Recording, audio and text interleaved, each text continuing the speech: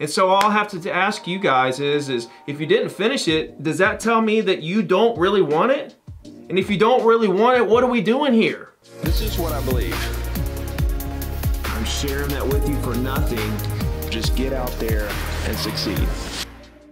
What's the expectations with results based on your, your 30 day challenge and your 90 day action plan? So how long ago did you tell them to start the start the 90 day action plan? Six months. Okay, and nobody finished it out of tens of agents? Nope. Okay. Well, I mean, you know, I'm sure everybody has their own story and their own, you know, excuses and their own reasons, their own problems and all that good stuff. So I'm sure everybody's story is a little different of what happened, why they're not doing it, um, you know, so on and so forth. I mean, you got to understand, uh, there's like less than 1% of people who get where I am in the industry, you know, um, and so when you look at a group of 100 agents, you know, less than one of you is actually going to do what it actually takes to get where somebody like myself is in the industry. And so you gotta you gotta say to yourself, am I gonna be that less than one percent? You know, um, it's pretty rare. I mean, less than one percent is really rare. Um, I think as far as not seeing results, I think you need to start trying to figure out what you base results on. Like, what exactly is a result? Okay, because I think what what your agents are doing is is they're saying, I didn't get any closings, I didn't get any listings. And that's literally like not even, that that's such a small part. I know that's how you pay your bills, but if you're new in the industry and you're not closing any deals, you should have a job paying your bills already. You know, real estate shouldn't be, if you're not making any closings, then you shouldn't be dependent on real estate to pay your bills. So you need to have a source of income already in place, paying your bills while you're doing real estate on the side until you make your side hustle your main hustle. So as far as not seeing results, like the result the the closing, the listings, all that, that's a that's a direct result of your actions that you're putting in. Okay, now when I make a cold calling session and I call 200 people and you know 30 of them pick up and I actually talked to, you know, 18 people over the course of 2 hours, 3 hours, whatever the case may be, and out of those 18 people, if I talk to 4 of those people who I have a really good strong connection with, Okay, that's a huge win. If you do that every day for a year, okay, if you pick up four new prospects every day, that's 20 in a week. Okay, we're talking about 80 in a month, that's almost 900 in a year. Okay, so 900 people, property owners that own the exact type of property you want to sell, um, you know, that had a an incredible conversation with you, gave you their contact information, said stay in touch, we're just not ready yet. A couple of them, if you do that for a whole year, you're gonna run into so many people that wanna do deals now, you're gonna close deals. But let's take that out of the equation. Let's say you don't close any deals, you keep your main job, this is your side hustle, and you end up with 900 people who know who you are and now are getting a weekly email or however you're building your personal brand after you make these contacts. See, that's another thing. You know, once you make the contacts, how are we building our personal brand from that point? What are we doing on a consistent basis to stay in front of these people that we have these incredible conversations with? You know, there's a lot of questions I have for your agents. Like you got to see long, long game here. Like you got to see the big picture.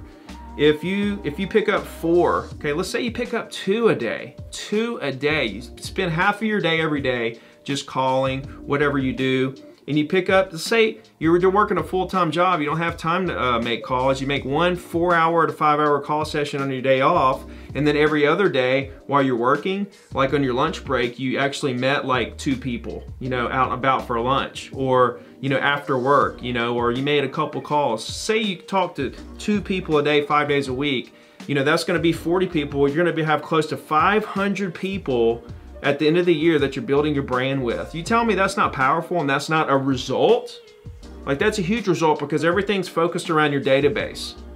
Like your database is your business and people that know who you are and trust you and see that you're consistent with your personal branding, like that, that personal branding, that weekly email is like, con the consistency of it shows how dependable I am, hardworking, knowledgeable, like they're slowly understanding who I am through that. If you just talk to them one time, you don't know anything behind it, they're gonna forget you the next day. You know, but if you have this consistent content coming through, you know, they're, they're getting to know you on this real, I mean, it's kind of an intimate level. Like they're really, they're really getting to know you. And then all of a sudden, boom, a year and a half in, they're ready to buy or sell something. And by the way, during that year and a half they weren't ready, they referred two people to you because they saw how hard you were working.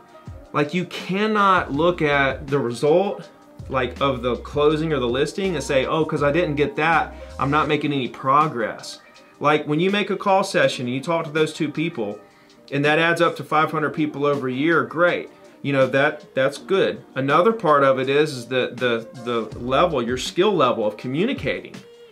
Like every call session you make, you get just a little bit better of learning how to talk to people, how to communicate, the tone of your voice, speed of your voice, you know, making people feel comfortable with you, showing them that you care, you know, making some mistakes, learning from those. Like it's, it's incredibly powerful, you know, like, you know, building the knowledge and skills from experience is worth way more than a million dollars. Like if you, if you were to make calls for like two or three years, the skills that you develop of those two or three years are, is worth millions to you.